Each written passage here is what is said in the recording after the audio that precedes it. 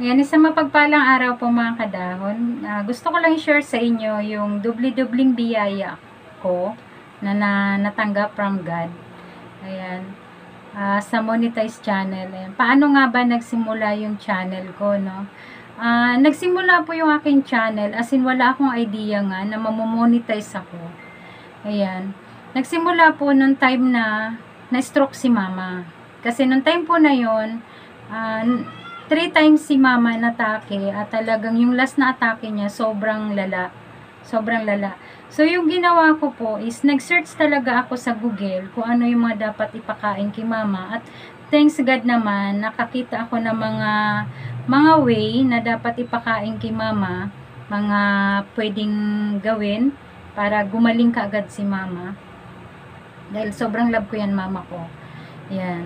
At yun nga po, yun yung ginawa ko kay mama. Then, thanks God, after 3 weeks, gumaling si mama sa stroke niya. Yan, sa kanyang mild stroke. Nung nagbabasa po ako sa FB, kasali ako sa isang group na may mga sakit. At mayroon doon nagtatanong, ano ba daw yung dapat ipakain sa mga may stroke. So, yung ginawa ko po, shinare ko lang yung aking nalalaman at ginawa ko kay mama. Shinare ko lahat na pagkain na pinakain ko kay mama. At nagulat ako na ang daming nag-message sa akin ang daming ang daming nag-private message sa akin. Ano ba daw yung mga ginawa ko kay mama? Ano yung mga paraan? So yun. At yan sinagot ko po sila. Then yun na nga dahil long time na yun is pandemic nag-iisip na naman ako kung ano yung pwedeng uh, extra income na pwede at home kasi syempre pandemic po eh. Nung time na yun, 2 weeks pa lang nala-lockdown ang buong Pilipinas.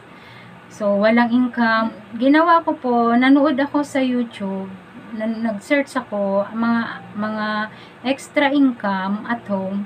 Yun nga po, na, nakita ko sa YouTube na mag-upload nga lang daw ng video is uh, kikita na daw, kikita na. So, so naisip ko, why not hindi ko i-upload yung pagkakasakit ni mama.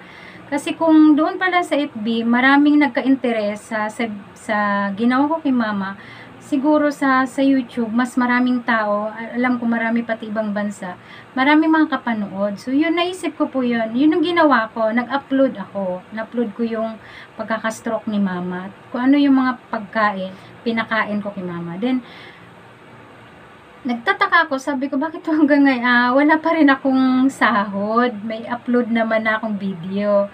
So, yun, ah, ginawa ko, upload ako ng upload ng video. Nag-upload through reality na nangyayari sa amin na mga healthy tips. Mga ginagawa, may bintusa, may yung pagkakaroon ko ng waiter dati. Ayan, ngayon wala na siya. Ayan. Ah, yun, in-upload ko po yun. Upload lang ako ng upload. Tapos, so yun, nag-search ako, bakit ah, wala pa rin yung sweldo ko. sweldo ko talaga. No, sinerch ko, bakit hindi ko pa rin nakukuha ang sweldo ko. Then, nakita ko po doon na kailangan pala makuha mo ang 4,000 watts hour at 1,000 subscriber. Eh, 100 subscriber pa lang ako. Ah!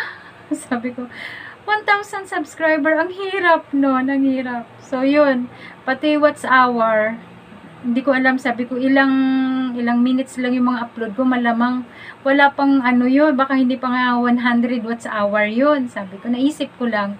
So, nag-search na naman ako, ano yung dapat gawin para makuha ko yung 4,000 watts hour at 1,000 subscriber. Yun nga po, napanood ko doon na kailangan ko makipagkaibigan, makipag uh, sa mga magpumasok sa mga nagla-live stream para magkaroon ng mas maraming kaibigan. So yun nga po yung ginawa ko. Nakipag uh, pumasok ako sa mga live stream uh, two months 2 months pa lang nakuha ko na yung aking subscriber 1,000 subscriber ayan thanks God then after 7 months po ay nakuha ko yung aking watch hour through my pagla-live at sa aking pagsa-silent through help din ng mga team tugang na tumambay sa aking live stream. Ayan. Uh, sila yung tumambay sa live ko, sa silent ko. At yung iba pang mga kaibigan sa YouTube na mga new friend, yan, na talagang tumulong din sa akin para makuha ko yung uh, 4,000 watts hour at 1,000 subscriber. 11 p.m., inimil na ako ni Lolo. Approve na nga daw ako. Yan, praise God talaga. Sobrang umiyak talaga ako noon. Umiyak talaga. Kasi sobrang kabado ako. Hindi ko in-expect na makukuha ko yun. Ayun. Then, March 16, inimil ako ni Lolo na pinadala na daw yung pin ko. Then, may isang kaibigan akong nakakwentuhan. Actually, marami naman kwento na pag sa Pilipinas daw, is taon or never makuha ang pin. So, naisip, hindi na ako nag-expect na makukuha ko yung pin ko. Kasi, yun nga yung mga testimony nila na baka binudol lang ako ni Lolo, no? So, isip ko, parang binudol lang din ako ni Lolo yata. Kasi, uh, nag-antay po ako ng antay. First week, two weeks, pumunta pa nga ako ng post office. Wala. Wala yung aking pin. Then, hinayaan ko na siya. Hinayaan ko na. Then, pagdating ng uh, 3 weeks in 3 days, dumating po yung pin ko. Ayan. Ito po. Dumating siya. Actually, sabi, uh, ginawa nung kartero, dineliver niya dito sa bahay. Two times na daw siya nagpabalik-balik dito sa bahay. Sabi niya, dalawang beses na po ako nagbalik-balik kasi nung first time is ayaw kunin ng mama mo. kasi daw may bayad. Sabi ko walang bayad, sabi nung kartero. Nung second time na pag-deliver niya is bahay. Nandito ako sa bahay ng time na yon. Kaya nung dineliver ito ay nakuha ko. Ayan. Siyempre tatakpan ko yung address kasi privacy na po yan. Ayan. So, yun. 3 weeks and 3 days po, nakuha ko yung aking pin. Ayan, salamat kay God at sa mga taong nag-push sa akin pataas. Ayan, hanggang ngayon, hindi sa puso ko pa rin sila. At yun, salamat sa Panginoon. Then, uh, after ko pong ipasok yung aking pin, yung pin dito kay Lolo, nakuha ko po kay AdSense na yung aking first salary. Ayan. Napakalaking tulong dahil noong time na yun, duma, dumaan kami sa pagsubok talaga. Napakalaking tulong yung yung unang sahod ko po kay, kay AdSense. Sobrang big help sa amin yon Ayan. Then, an, isa pong pagpapasalamat ko rin kay God na 2,000 subscriber na po ako. Ayan. Nakuha ko na ang aking 2,000 subscriber ngayon. Ayan. Ah, nasa, sa, ang aking subscriber po ay 2,330. 330 na. Ayan. Sobrang thank God ako kay sa Panginoon dahil uh, hindi ko inexpect na aabot yung aking channel sa ganito. Kaya, syempre, hindi ko naman tumabot mag-isa, kung ako lang mag-isa. Siyempre, maraming tumulong. Maraming tumulong. Isa ang Team Tugang, Super Friends, sa pamumuno ni Manay Bicolana Espanyol at Mana, Manoy RPTV Madrid. Ayan, nandyan sa yung mga nasa Team Tugang, talagang napaka-helpful.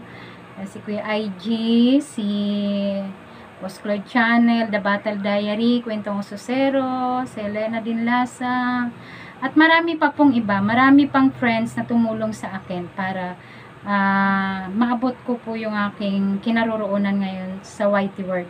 Ayan. Isa po pang papasalamat ko kay God is uh, yung aking 42 years old birthday. Ayan, 42 na po ang inyong kadahon, no? Ayan, 42 na po ako. Noong August 7, ayan, na healthy naman.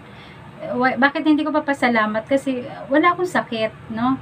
Nakuha ko yung, nag, nag-birthday po ako ng August 7, ay wala akong sakit, healthy naman, at sobrang blessing ako dahil wala talaga sa plano ko maghanda, as in walang, wala talagang plano. Nagulat ako sa anak ko, pagdating ng anak ko, daming dala-dala.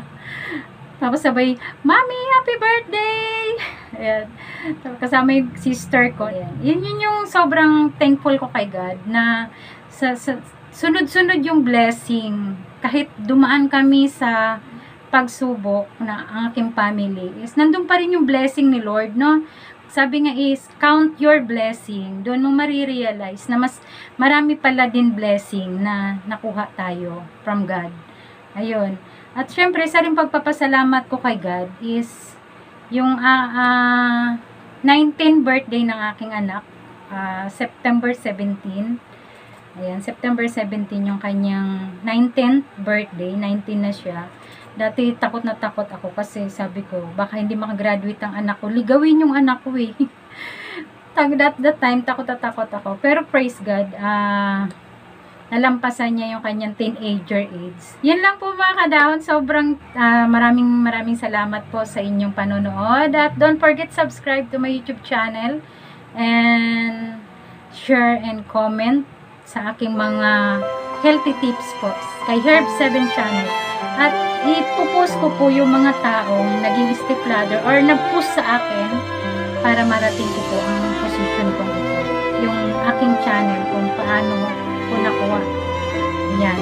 Pupus ko po yan. Nandyan sila. To follow na po. Ayan. Thank you po. Bye-bye. Ingat. God bless us.